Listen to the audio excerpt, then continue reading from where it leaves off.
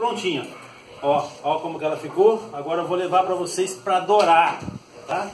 Aí ela dourou, entendeu? Então já tá no ponto pra gente já poder degustar a danada, tá?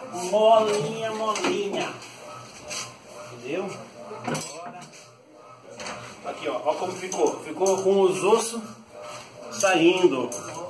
Entendeu? Aqui, ó. Vou por aqui dourar. Mais 20 minutinhos, 10 minutinhos. Entendeu? Ela já tá no ponto pra gente degustar ela aí, tá bom? Abraço.